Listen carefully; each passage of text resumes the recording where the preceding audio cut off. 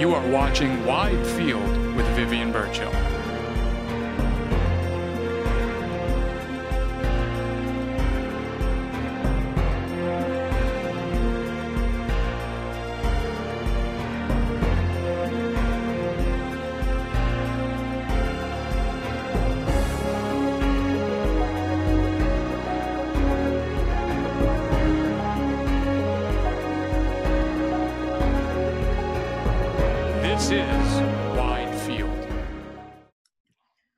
Welcome to Wide Field. I'm Vivian Kobusingye Birchall, your host. My guests today are from the Acton Climate Coalition, uh, Mr. James Snyder Grant and uh, Ms. Sargam Nohria.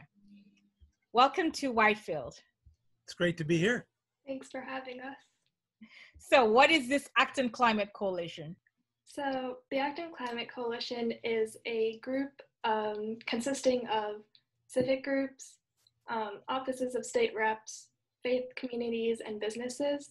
And I myself am a representative of Sunrise Acton, which is our local hub of the youth led Sunrise movement. And so basically, we are all endorsing the Acton Climate Declaration, which, Jim, do you want to add anything to that? Um, sure. Um, the the climate emergency declaration uh, is going to be on the fall special town meeting as a citizens petition. Uh, we've gathered um, more than enough signatures now, and uh, so very shortly we'll be filing those with the clerk, and that'll go out in the warrant. That'll go out to all households for a special town meeting in the in September of 2020. Many people hear the word climate change, but it's difficult to understand. So, in your own words, what is climate change? Thanks, Vivian. That's a great question. Um, so our atmosphere uh, does a great job at letting sunlight in as energy and then letting some energy out, mostly in the form of heat. And what the balance of what energy gets let in and what gets let out determines our, our average temperature here on Earth. And um, so for the, for the most part, our atmosphere has been doing a wonderful job. Um, but in the last 50 years or so, as we have uh, humans have continued to add um, carbon dioxide and other greenhouse gas um, greenhouse gas emissions to the atmosphere, the atmosphere has become a little bit more like a, a thicker blanket. It's holding on to more energy, and the uh, so average temperatures are beginning to go up. Um, did you want to add anything, Sargam? Um, yeah, I guess I can add that in addition to that, because of the increase in global temperature, um, our ecosystems, which are at a happy medium right now um, in relation to temperature, it's going to shift the balance of everything, which will cause a lot of species, plants, and animals to be unable to adapt to the changing temperature, which causes a lot of problems. Sargam, you're at the high school right now, right? Yeah, I'm at the high school. I'm going to be a senior this year. So I wanted our viewers to know that there are young people who are concerned about climate and doing something about it. Have you conducted some research that you're basing uh, your advocacy initiatives on? And that is, and if so, what is that research? And again, closely related, is there a climate assessment for Acton or New England? Sure. Well, there's both international answers and local answers. So um, internationally, um, the the place that is responsible for bringing together the thousands of scientific research papers on climate change is called the International Panel on Climate Change, um, and that agency issued a report in 2018 that said um, to avoid the absolute worst impacts of climate change, we need to drastically reduce the emissions um, and keep our global average temperature from increasing um, more than one and a half degrees centigrade or 2.7 degrees Fahrenheit. Um, so that sets a really strong bar, a really high standard for how quickly we have to deal with emissions. Um, locally, um, the town, uh, with the help of the state, um, convened a municipal vulnerability preparedness study, an MVP study, two years ago, that looked at um, the impacts of climate change on Acton itself. And what that assessment determined was that the three most important changes for Acton are the increase in temperatures um, and the increased uh, flooding. There's a, there's a change in the weather patterns with an increase in temperature where you get more flooding, but also more droughts. So the, the, the water, the water, the air can hold more water and then it comes down all at once. Um, and finally, there's an increase in, um, in mosquito-borne and insect-borne diseases. Um, tropical diseases that normally haven't been able to survive up here are going to be able to have a better time up here. And the fourth factor, which was mentioned in the report, uh, but which is very concerning for me, is the disruption in global supply. Um, so as food gets harder to grow, as there are disruptions elsewhere in the world, Acton's going to be impacted. Um, Sargam, did you have anything to add to that? Um, yeah, I think it's important to note that Jim just mentioned how climate change will affect Acton, and climate change will not affect every part of the world the same. So other places are going to be impacted by other things changing in the climate. And this is a problem because a lot of these places are not contributing to climate change as much as countries like the US are, for example. And so they will also have less resources to handle those changes in the climate. And the result of this is just a lot of suffering and I think that's just another point about why we have to act right now, because by acting right now, we can prevent all of that suffering that is to come, not just here, but like around the world.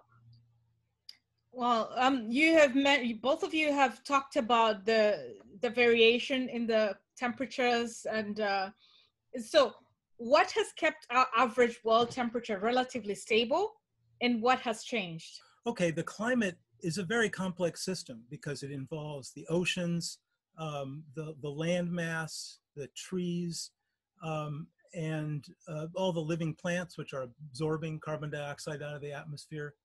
Um, and that system has been stable ever since the last ice age, approximately.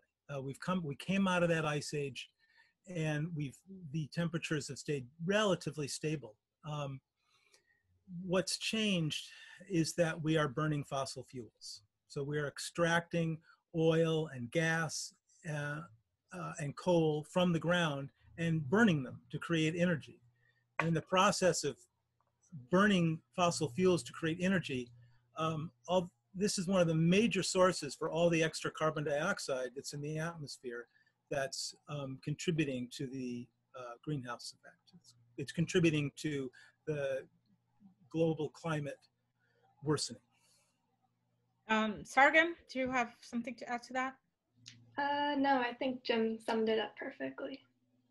Well, and in your assessment, um, is there a link between climate change and global health? I'm really passionate about health, public health, so I'd like to learn to hear from you. Um, I think, as I just mentioned, how climate change is going to impact different part of the world differently, and how countries will not be able to cope with the changes um, as effectively as other countries. And so I think that really highlights how a lot of people will be directly impacted, for example, by rising sea levels or a disappearance of their staple food crop due to droughts. And so that is going to potentially cause a lot of mass suffering, which is a big problem. Jim, any contributions to that? Sure. I think it's important for us to recognize that climate change is already impacting people. Um, there's a, there's uh, some horrible news stories out of Pakistan a couple of years ago as the as the heat waves have gotten worse and worse. Um, there's this very chilling picture of um, grave diggers working ahead of time, anticipating the, uh, the, the, the, large number of deaths from the heat waves that are going to be coming in and digging these, these, these long, long graves for the people that will not be able to survive. Humans don't do well when temperatures are more like the inside of an oven. Um, we've seen that in Iraq recently. In the last few weeks, they've had temperatures that they've never seen before, uh, over 120 degrees Fahrenheit. Humans don't do well in that, in that environment.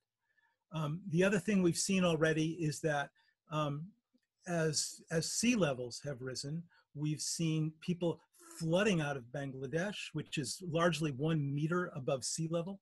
Um, we've seen large parts of Syria change from places that can grow crops to essentially deserts. Um, and when we think about all these Syrian refugees who have come out of Syria, it's not just for the political reasons. This started as a health crisis, as a food production crisis. And then just to bring that uh, this closer to home, but uh, when we look at Acton, since we're, uh, I think you're proposing uh, legislation for Acton. I might be calling it something it's not, know, but uh, some kind of action for Acton.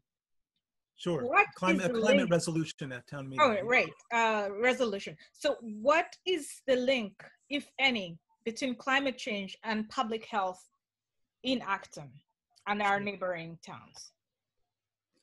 Um, there are a lot of uh, diseases that travel with insects that have been kept in check by cold winters. Mm-hmm. Uh, as as the winters become less cold and as the as the summers become warmer, these um, uh, tropical insect-borne diseases are, are becoming more common here. Um, Triple E, West Nile virus, um, even just tick, the tick population uh, have all been increasing. Hmm. That's uh, that's something I guess to look out for. Um, and and over the conversation, you have mentioned why we need to act now. Uh, is there anything you you can add to what you've already said uh, about the urgency. Why act now? Yeah, so the reason that we have to act right now is because, as per the 2018 special IPCC report, they mentioned that if we warm, if the global warming temperature warms above 1.5 degrees Celsius, we will reach a dangerous point of no return, which means natural systems and life as we know it will reach will transform. Um, and so we need to act now because the longer that we wait, the harder it is to take action to prevent this, and the, the worse the effects of climate change become. And the IPCC report also mentioned, as Jim mentioned earlier, um, that in order to keep global temperatures below 1.5 degrees Celsius, we need to bring our global emissions to 45% less than our 2010 global emissions, and we need to reach a net zero global emissions by 2050. So we do have some timelines, and they are fast approaching. And the longer that we wait to take action, it's going to be harder, and we're just going to have worse effects to deal with. And so, why are you doing this for Acton? And aren't we just a small town that can't do much? I mean, why are we focusing on Acton as opposed to focusing on the state and federal action? Jim first, and then Sargam. Well, you're you're exactly right, Vivian. Um, Acton is a small town, um, but here's the magic of it: that around the world, uh, 1,500, more than 1,500 towns, cities, states, and countries have declared these kinds of climate emergencies um, and they are creating a critical mass of people who are insisting to their state and federal governments that action needs to be taken now. So um, in Massachusetts, for example, we've had these kinds of emergency climate declarations in Worcester, Boston, and Amherst. And if Acton is the next town, I'm sure there are many towns that will follow after us. Sargam, do you have anything to add to that? Yeah, um, so the problem of climate change is not going to go away until we deal with it. And so by declaring a climate emergency in Acton, we're letting this issue be something that a lot of people will talk about. And the more that we talk about it, the more that our legislators will hear that this is an important issue that we care about. And the more that people act on it, the more that we will get work done. So really this is the first step in jumpstarting our mobilization to act against climate change. And your resolution is calling on many changes. So, won't it be difficult and expensive? And are there upsides to acting uh, too slow to the climate change? And uh, what's actually in that resolution? Sure. Um, so, town meeting, um, where this declaration would take place, um, has limited control over the executive action of the, of the, of the government, the town manager and the board of selectmen. Um, what this what this is is is so it's a non-binding resolution. Okay. It calls on the town to act as quickly as possible to reduce emissions, and it calls on um, households and institutions within Acton to take that same urgent approach. So as Sargam said, it's it's partly and importantly to launch education uh, and to launch information uh, so that people can understand the urgency of acting and can get access to uh, information about how to act. Um, the the Acton, let me put it this way. Um, there is so much to be done that it is clear that Acton cannot act on its own. Uh, if we are to make the kinds of transitions we need, we're going to need significant support from the state and federal governments to get this done.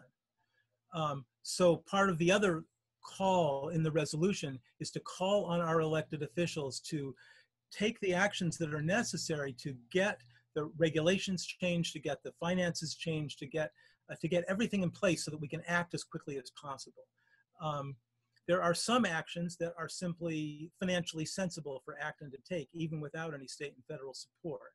Like when I think about the, um, the ground source heat pumps, the non-fossil fuel heating systems that have been agreed on for the new twin school and for the new fire station, that was a financial analysis of what made sense.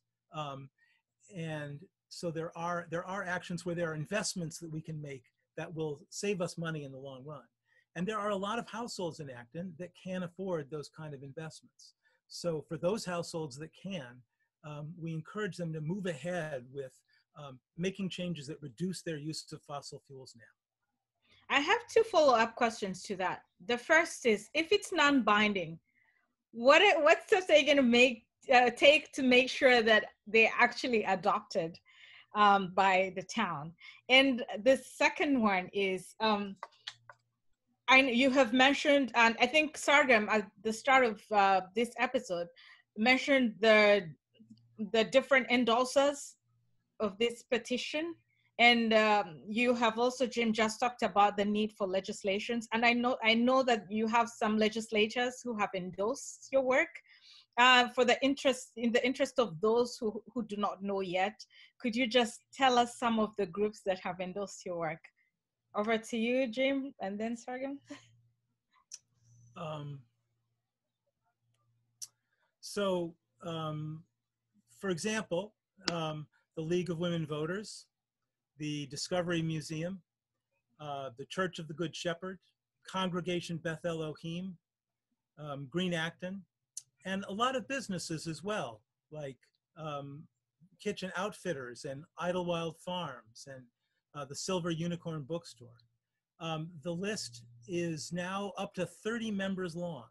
So um, I encourage people to go to the actonclimatecoalition.org website and uh, look through the list of supporters. And Sargam, do you want to speak to how you're going to encourage uh, the town, given that it's a non-binding resolution, to actually take up the actions, you're, you're, the changes that you're proposing? Well, what the declaration is asking of us as residents of the town and of our town officials is to have such a mobilization effort. Um, and I think that generally in Acton, a lot of people care about the issue of climate change. And it's, this is the step in the right direction for the future because it's the only sustainable way. So this declaration is going to be like a jumpstart to getting the climate legislation that we need. And that is really the only way that we can proceed to the future. Right. And just uh, as a follow up, uh, first of all, I'm inspired that as a youth, you're taking charge and leadership in this initiative. Um, thank you for that. So, what what work are you doing with fellow youth to get them behind you and uh, your your advocacy work? Yeah, so I'm actually one of the co-coordinators of Sunrise Acton, as I mentioned in the beginning. And so, what Sunrise Acton is is that it's a youth, it's our local hub of the Sunrise movement. And the Sunrise movement is a youth led climate organization. And so we typically hold meetings where um, any young person can show up and we take action together. Um, whether it is um, calling legislators or attending the climate strikes in Boston. And so we are basically a group of young people who are who are fighting passionately for climate action. Well, uh, thank you. And just to follow up with the the whole mobilization component, I know that you guys are scheduled uh, webinars. Can one of you tell us more about those webinars and how people can participate? Yeah, so um, basically you can sign up on our website, which is actonclimatecoalition.org. Um, if you scroll to the bottom of the website, we have dates listed in August and a few in September. Um, and you can just come and attend and we will update you on the latest climate change news. Or one word to tell our viewers about the work you're doing and what they can do to help what would you tell them, starting with Jim? We need everyone. Climate change is a big, pressing problem that needs action now, and it needs action at all levels individually, towns, states, and federal governments. So, for people that are don't know where to start, um, I recommend connecting with one of the organizations that's working with climate change learn what you can, come to one of our webinars, and start taking actions. Small actions add up. Yeah, um, kind of echoing that. I know that this is a daunting and overwhelming problem, but it is a problem that isn't going to go away. So, the best thing that you can do is get involved so that we have everyone in this fight, which will help us better get over the problem. Well, thank you for the work the both of you are doing uh, toward protecting our environment and taking time off of your schedules to share your work with us on Wide Field. Thank you so much, Vivian, for um, giving us a chance to highlight the work we do. Your, your shows are amazing, and it's an honor to be here. Thank yeah, you. Thank you so much for having us on today. You're welcome. It's my pleasure. And to our viewers, Check out Wide Field episodes on Acton TV YouTube page. You can also email me at whitefield.vivian at gmail.com. Thank you for watching Wide Field. Till next time.